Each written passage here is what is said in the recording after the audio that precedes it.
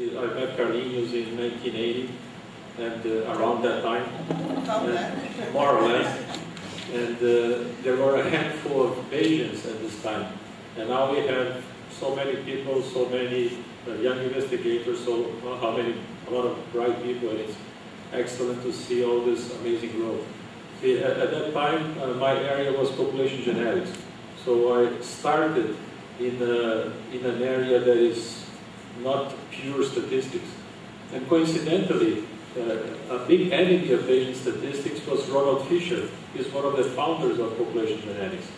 And uh, this work here, it's, uh, it's a very applied work. And uh, since I'm a grandfather now, I, would like to give you some advice for the, the young people coming here to, the, to, to, to statistics. See, uh, statistics is it's really, uh, and, and, again, it's, it's, I'm not biased because uh, I consider myself a little bit of a statistician, but it's the, the most important core uh, area in, for study. And why is that? See, if you think any organism that we call alive or more or less alive as viruses, they are constantly making decisions. And good decisions are rewarded with survival. And this applies to uh, individuals, to cells, to societies. So, and who studies decision processes? Statisticians. So, and uh, the, all science is based on, on decisions.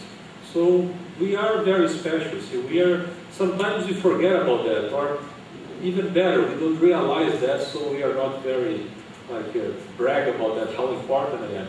But, but we really do something very important. And, and one thing that is complicated also about statisticians is that we have this duality. So statistics is an impure mathematical science because we deal with reality too. And most of the time, we, we are interested on how to solve a problem. And we have a problem and we try to find a solution. And that's my piece of advice.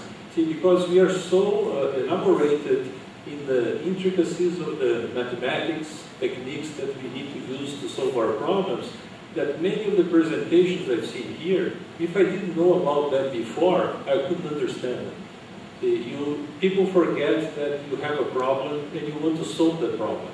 And it's very important, because once, uh, uh, most of the time, uh, the, the, presenter is the person that knows about that uh, problem the most. And the most important thing is not the problem anymore, but is the solution. But for the rest of the world, we need to understand that. That's it, that's the problem, that's what I want to solve, and then everybody uh, follows that, because even if you don't understand all the details of the solution, uh, what each of us is trying to do is provide some solution. That is a joke that I heard many times ago. We publish, and hardly anybody reads that. And if someone's read, they disagree and write another paper. Okay? So let's go to our uh, idea here. So, so this is my story. Uh, in the past, uh, since uh, 98, I have been working with uh, uh, this problem of how to find a dose of a new agent that is going to be used in a human. and then, this is the old story, so I'm going to give you a, a, a, very brief overview about that. Then we have the present. The present is the motivation of this talk. See, in a nutshell, what happened. See, we have this method that had been used for a long time, and we, as happens many, many, many times, we submit uh, uh, a protocol that is the unit of a clinical trial to FDA. FDA is the, the big brother. Uh, is the agency that uh, accepts and controls all this type of research in humans in the United States. And they said, no, you cannot use that method. So what do I do? Nothing. See, I need to agree with them. See, they are the, they decide. But then afterwards, what we can do, we can prove that they are wrong. So this is uh, what we're going to do here. And in a sense, most of the work I'm going to do or going to present to you that, that motivates this topic, it's a simulation uh, work. It's a very tedious simulation work. But again, uh, although it's not the most amazing things that statisticians like to do, it's really very important because we can only uh, show that what we are doing is better or worthwhile if we prove that our stuff is better than other stuff. See, if we can show that our methods are more efficient than frequentist methods, we win one battle. And that's what we need to do too. See, most of the time, the cool stuff is to come up with a new method, to find new ways to solve problems, and that's it. No, no, this is just half of the work. After that, you need to show to everybody that this is better than what is around that was done before you. And that's less fun. See, it takes more work to do. And the future work that hopefully some of you will be interested and you'd like to work together is how we work in uh, those combinations. Okay, so, so this is cancer. Uh, it's a crazy cell in your cell that starts to grow. And uh, because it's a cell of your own, it's really hard to kill that cell. And the cell has all the uh, smart things that evolution gives us. It tries to uh, create new mutations to uh, evade any mechanism to destroy that cell. So if I find something that destroys one clone of cells, another one will pop up with different mutations and will try to kill us. See, uh, the cancer cells are very selfish. They want to exist, but they don't know that for them to exist, uh, they kill the host, and that's the problem. So most of the time when you need to find a, a drug to kill those cells, uh, it's not something pleasant. Although very rarely and recently they come with this called uh, uh, targeted therapies. Uh, see, anything in some way, it kills you, including water. If you drink too much water, you, you'll die. That's why people in marathons sometimes die because they drink too much water.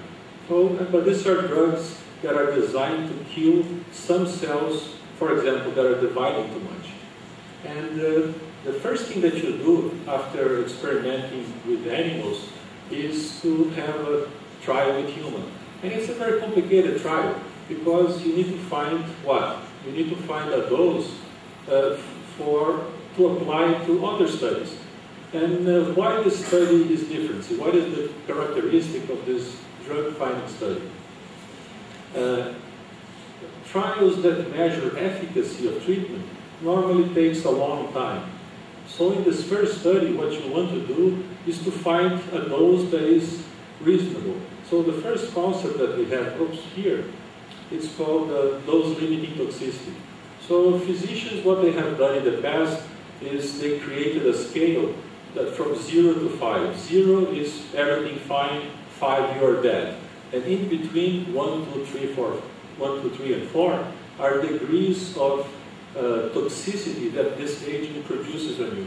Uh, most of the time, 3 and 4 is really bad, 2 is more or less. So we are going to handle first with 3 and 4. 3 and 4 uh, and 5 is going to be called dose limiting toxicity or DLT.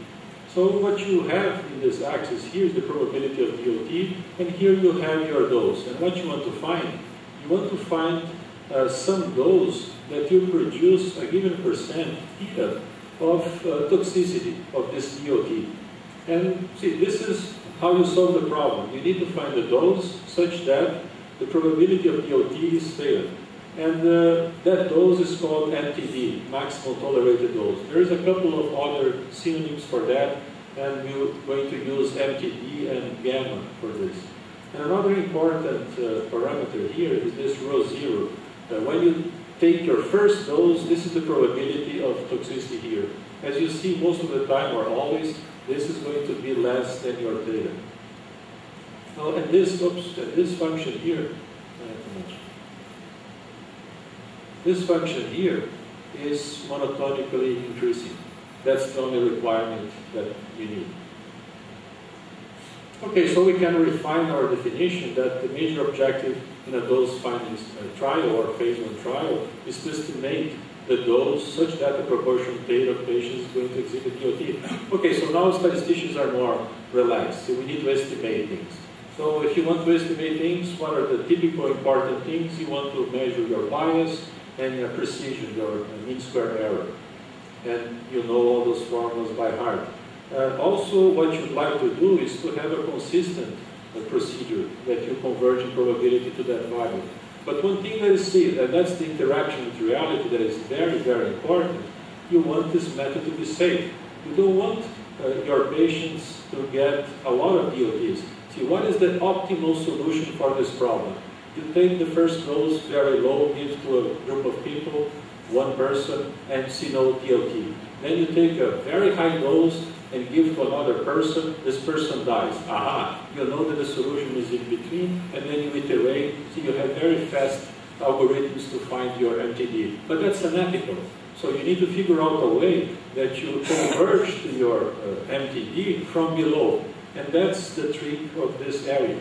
And one, so one, um, one thing that we need to worry is about the patient population. So who is the patient population that enrolls in this type of trials? Are people that tried uh, the standard treatment, failed. Go to second line, failed. Third line, failed. Fourth line, failed. So you have a patient that after trying many types of therapy, still has cancer. So these are the guys that are getting into those trials. And in the past, uh, the assumption is that, uh, see, they are, when they enroll to this trial, they're just doing something good for science, because they're helping the rest of the society, because there is not much chance they will benefit from this trial. But uh, hopefully, uh, in this paper that was uh, published in the New England Journal of Medicine in 2005, they reviewed a, a large series of patients that enrolled in this type of trial, more than 10,000, and they realized, for everybody's surprise, that there is more than 10% of chance that they will benefit from that. So, see, this is really cool because now there is another thing that we need to add to our list of desirable properties of, of our method. We want to design trials such that the maximum number of patients will be receiving the optimal dose. If I can uh, make this happen, I'm going to take that number 10%, maybe be increased to 15%, just by changing the way I design my trial. So we added that to the list. We not only want accurate, precise, consistent, and safe, but we want to maximize the number of patients that are going to be receiving the optimal dose. And how we define the optimal dose? How about 15% around the true MTD? Okay, so this is uh, uh, segment one, generality. That's the method that we developed uh, in 1998, escalation overdose control. Uh, this method is an adaptive design. That is an experiment, experimental design where future points of experimentation are based on previous points of experimentation. And that's a very large and best class of adaptive design are Bayesian designs, and you're all familiar with them. So you have your priors, your likelihood functions, cost functions, posterior, you have your data, you have your learning machine there. Okay, so that's a newer concept for some of you, although it was presented by uh, Eichhorn and Zacks. Eichhorn was a, a, student of Zacks in 1973 in a JASA paper. And this idea that while you read this, the, the math that I'm not going to explain to you, it's a very clever idea. If I have, suppose that I want to estimate the mean of some uh, distribution, and as I increase my sample size, what happens to it is going to get narrower, and narrower, and narrower.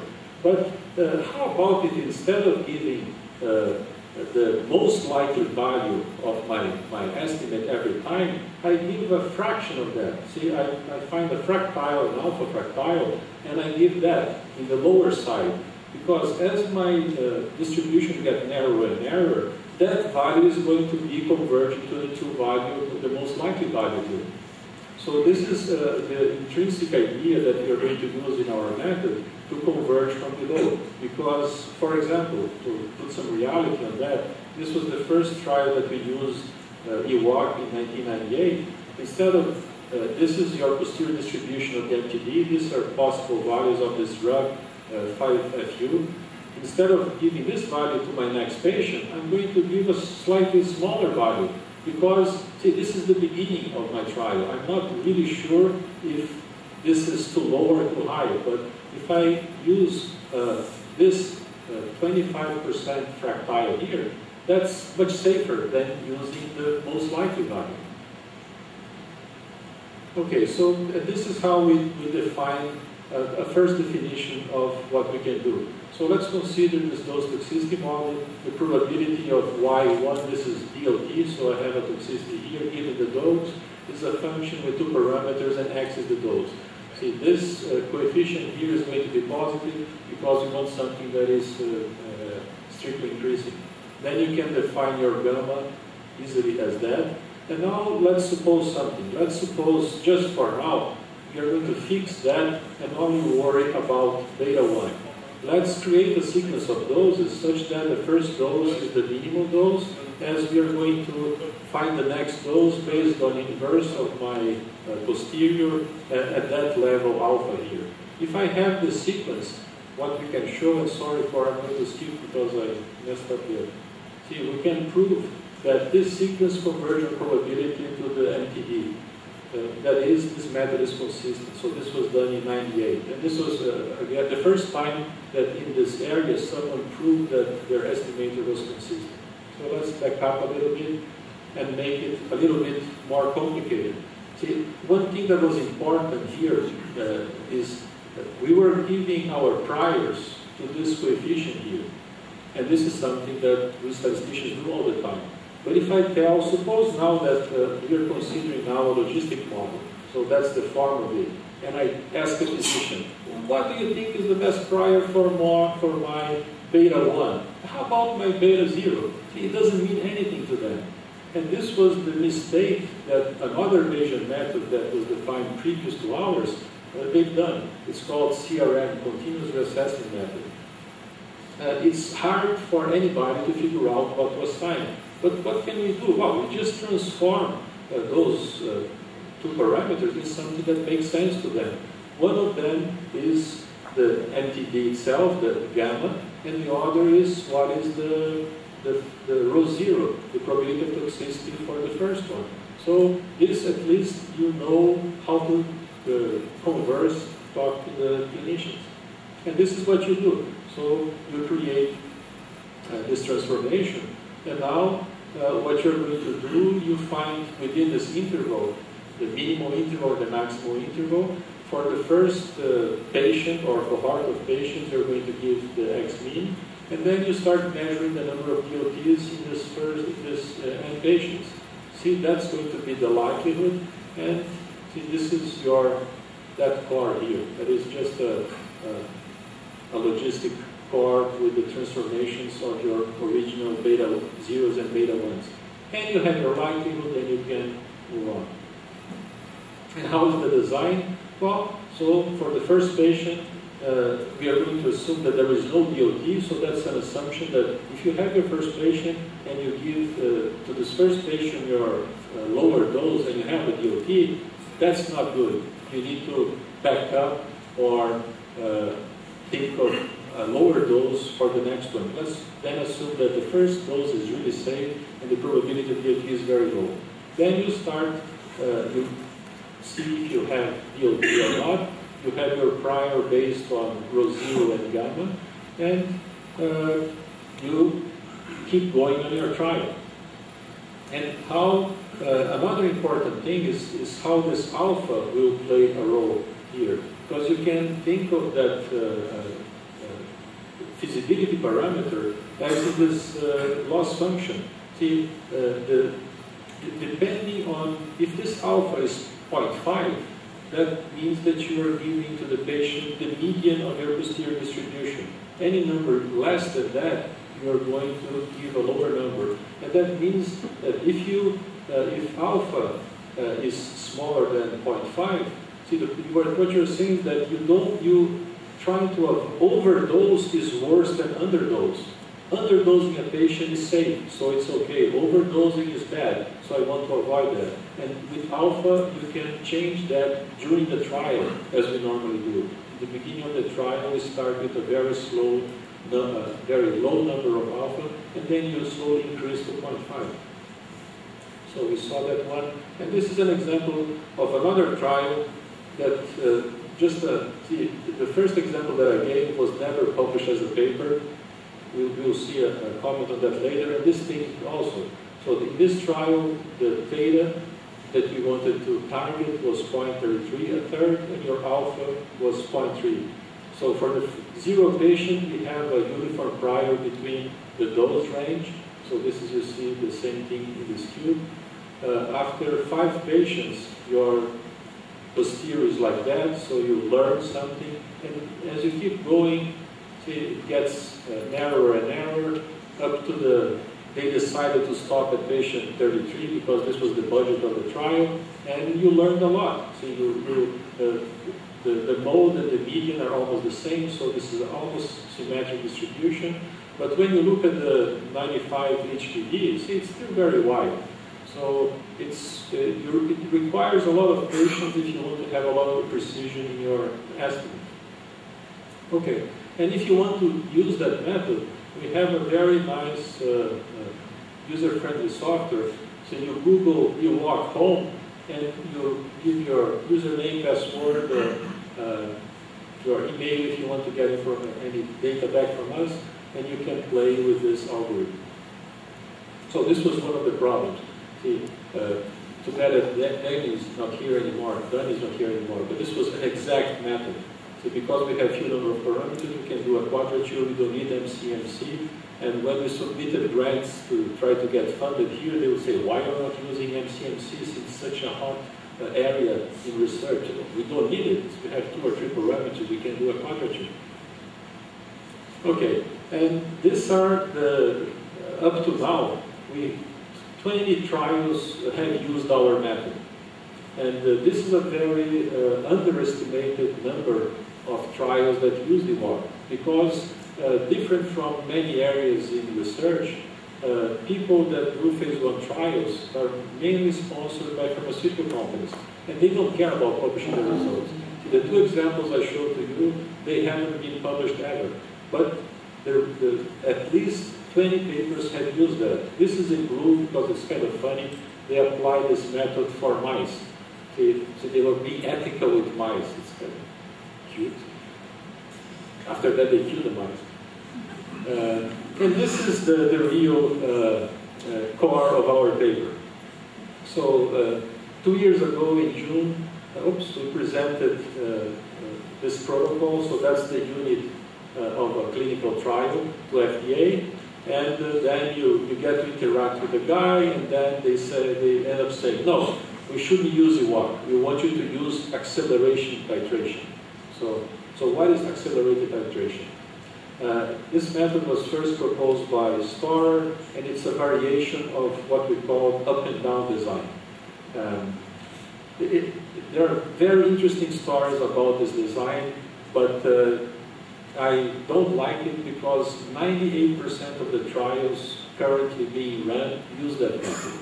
And it was, it started to be used in 1971, and since then more than 100 papers statistical papers show that that method is bad, but still it's still being used. So it's kind of my personal quest to try to change that proportion. And what is this up and down design? It's the, the reason why it's so uh, used is because it's very easy. You take three patients, you treat these three patients at one dose level. If you have no toxicity, you go to another dose level that you pre-specified before the experiment. So you're not even trying to gradate the dose based on your information. Before the experiment, you say, I have 10, 20, 30, 40, and then so you go to the next level. If you have one toxicity, you expand that. You add three more patients. If you have then toxicity in one out of the six, you go to the other level. If you see two or more toxicity, the previous level, you declare the MTD. So, and if on the outset you see two or three patients, the previous level is the MTD. So this is an algorithm. So, and it's any, see, you really don't need to be very smart to apply that. And that's why maybe it's so, so, so used, because you just follow the algorithm. So how good is that algorithm? And how did it appear? See, that's uh, uh, cool, because this was developed during, at the end of the Second World War, for those guys, Dixon and Mood, and they had a similar problem uh, in their lives. at that time, airplanes would release uh, explosive charges, And uh, depending on the height that you release them, they would explode or not. See, what's the similarity between the patient and an explosive charge? Well, if you treat one patient and you get DLT, you are not going to use that patient again. If you, if you don't have a DLT, you are not going to use that patient again either. See, if you release a charge and it explodes, you cannot use it. If you release it, it doesn't explode, you're not going to use it again. So that's the, the similarity. And see, the charges are cheap compared to patients. And they figured out that if you have around 30 or 40, you get a good estimate of which height you should release your charge, and a given percent of them would explode. Okay, so this is, that's the method we are competing with, but there is a, a little, sorry, we are not here yet. Uh, what is the accelerated titration? Accelerated titration, they decide, because this going three patients, one uh, or two have DLT, and then you do this process, uh, it's kind of slow if you are too low, if you start too low. Then one guy said, how about if we get, uh, we add an ad hoc uh, difference? We do one patient at a time. And if we see in any patient uh, grade 2 toxicity or grade 3 or 4, then we move to the 3 plus 3. Okay? So again, very simple, any person can do it. You preset your doses before and you follow those rules.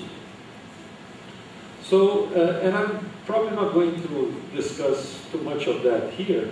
Uh, you, what we've done with EWOC is to, before this uh, interaction with the FDA, is to say, yeah, it, it, it, makes sense to use more information than the DLT. How about if you use grade 2 toxicity?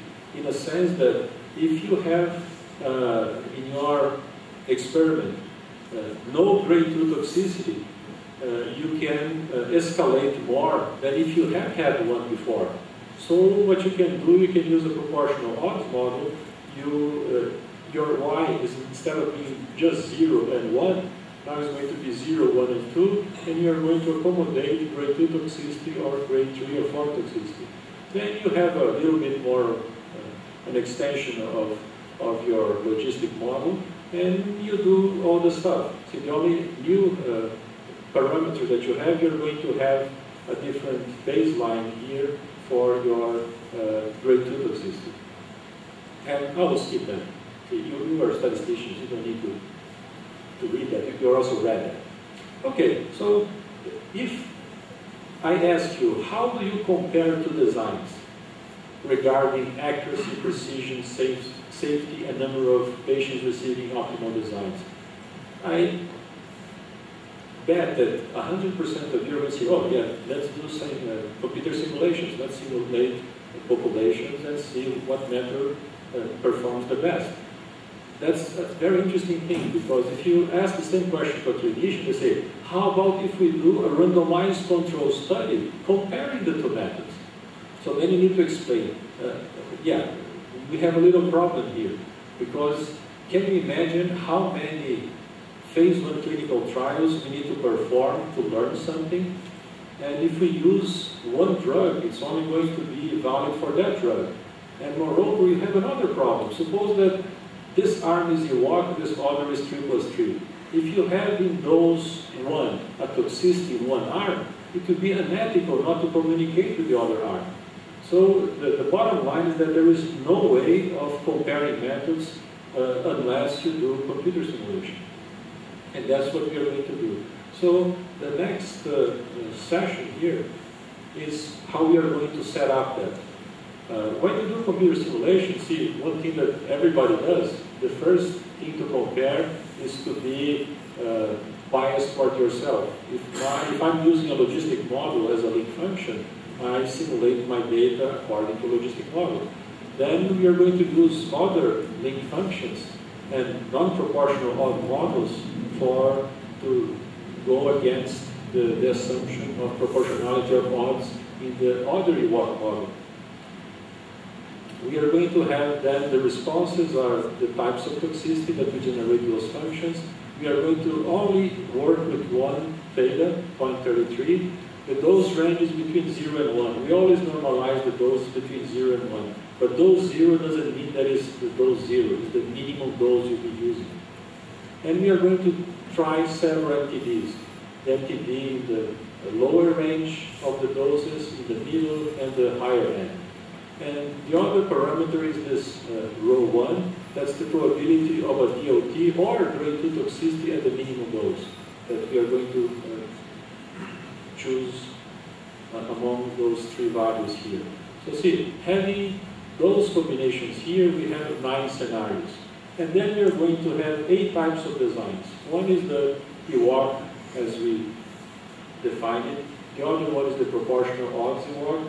And then the acceleration titration, we are going to have one, two, three, four, five, six different types. And how, how are they different? They can be, have the starting dose very low or a little bit low. They, the first phase, the way you accelerate is going to be doubling the dose or going 1.69 of the dose or 1.96 of the dose. And why we chose one of these numbers because I forgot which one of them, but I think that this, this one was the one suggested by the FDA. And the others are also used in the literature. So see, this is a lot of things to, to simulate.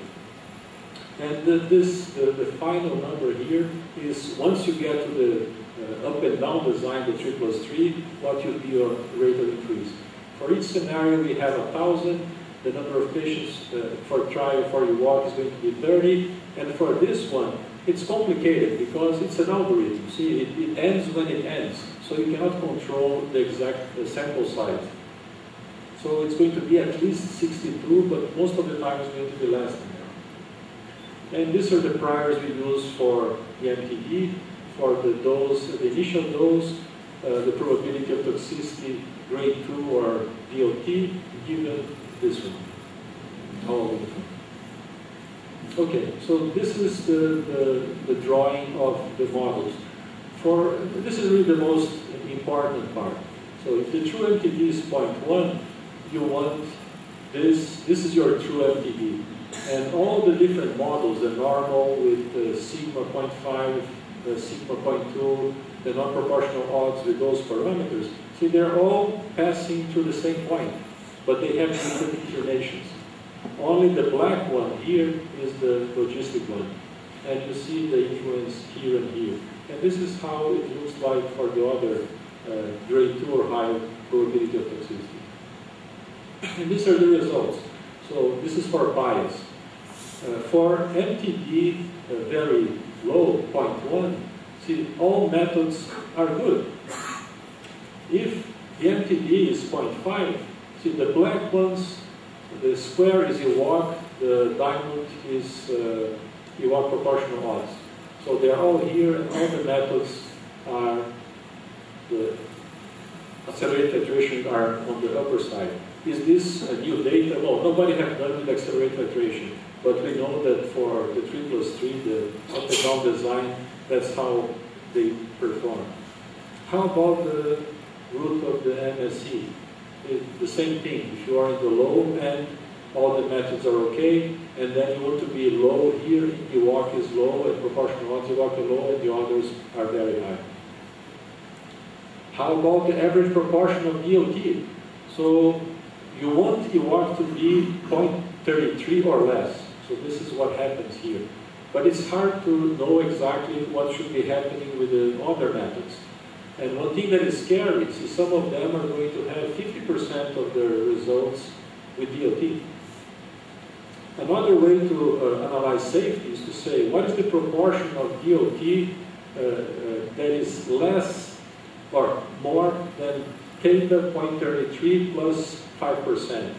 So and again, most of the time everything is okay except those guys with accelerated titration. And how about how often the MTD is within a good range? See, those guys are okay, but those are the same guys that are 50% of DLTs. See, EWOC and EWOC variations are all good here. And how about the number of patients that receive doses within the optimal thing? Now EWOC is always the winner. Okay, and, uh, so sorry, uh, I don't know if I said that this data here is all for logistic uh, link function. So see, this is the best case for EWOC. So now, and this is the median number of patients per trial. See, EWOC is always 30, and the other methods, they vary. Sometimes 10 patients, the trial stops. Sometimes you need 50 patients. Okay, so this is the, we are going now to use, this was the method, uh, the proportional odds method, so this is the, how was defined, and then you have all the other variations. And uh, these are in red the accelerated titration, this is EWOC, and this is proportional odds. And these are the number of sim uh, trials simulated in each case. So in the first one, we've done a lot of different combinations, and here we decreased a little bit. And EWOC doesn't have many things to vary, so it's the numbers are smaller than accelerated titration. So let's remove this, and what can we learn? So, see, this is average bias. So bias is always lower for the EWOCs. And this number that you see is the difference between this number and that number. So this gives you a magnitude of that difference. Okay? So how about the average square root of the mean square error? So same thing. The EWOC is always low compared to acceleration titration, and that number measures the difference. How about the average proportion of DLTs? EWOC is safe, it's always below 0.33 no matter what model are you using. And these are the differences, but sometimes that the titration gives these overshoots here that are dangerous. The same thing, again, in the proportion of patients receiving optimal doses. So see, this is the, one of the important parameters. And you can see that the walk is always much higher than the other one. And these are the differences in numbers. So see, that's the, the question. If you, if you could ask a patient uh, which method you would like to be used in your trials, well, if I am the patient, say, well, I rather have one that increases my probability of getting a useful dose. Okay. So and that's the summary that you have. Uh, uh, in terms of accuracy, the bias in EWOC is always smaller than acceleration titration. Precision, the EWOC is always smaller. Safety, both are safe, except some cases that accelerated titration overshoots. And in terms of number of patients receiving optimal doses, is always more in terms of EWOC. Okay, so what can I say? See, uh, that's one of my favorite uh, citations of uh, one of my favorite uh, theater plays from Bertolt Brecht, The Life of Galileo. The truth is the child of the times, not of the authority. Or in Portuguese that I heard the first time, a verdade é filha do tempo e não da autoridade.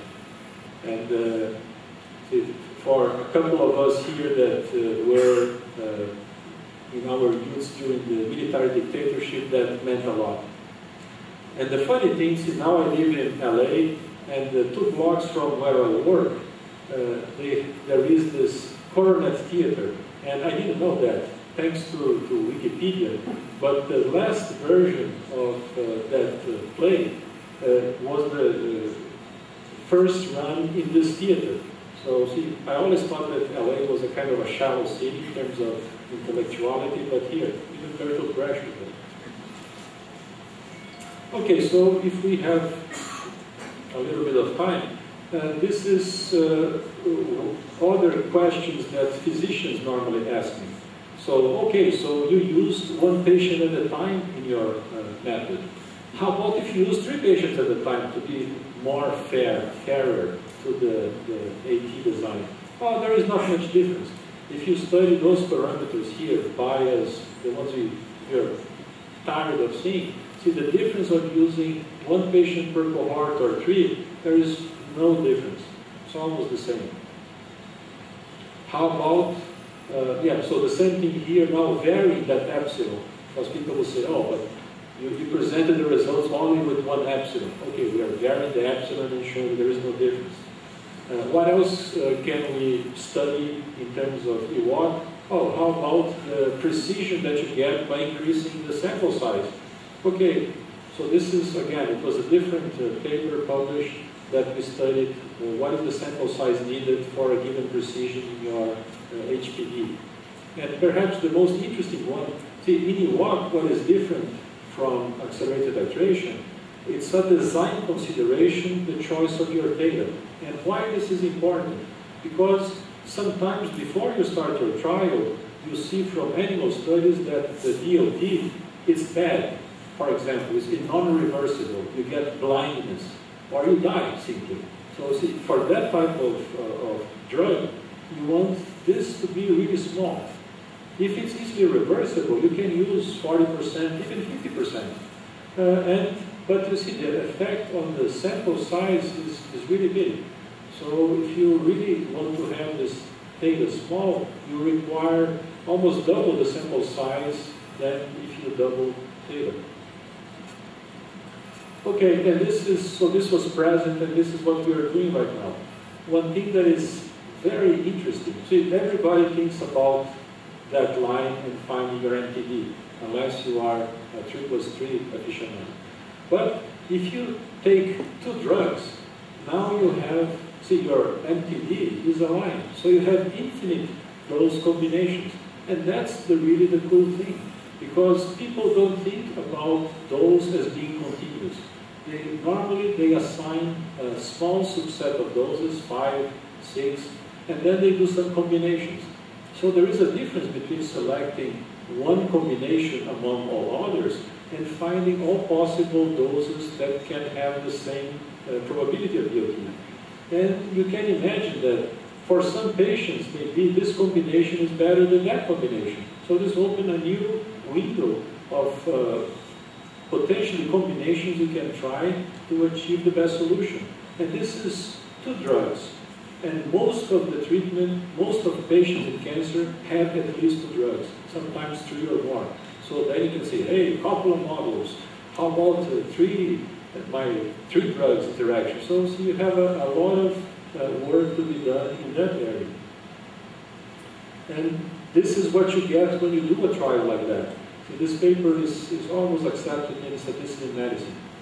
Uh, you start, uh, this is the, the, the, first attempt, and then you iterate, and when you get, see, the reds are DLTs, the whites are no DLTs. At the end of your trial, see, this is the, the it's a simulation, the continuous is the true MTD, and the dotted line is the estimated MTD. And so far, we, we have been very lucky in getting very good agreement with that. And that's what we are working right now. Uh, so this is the, the, just a summary of what we have been doing since 98.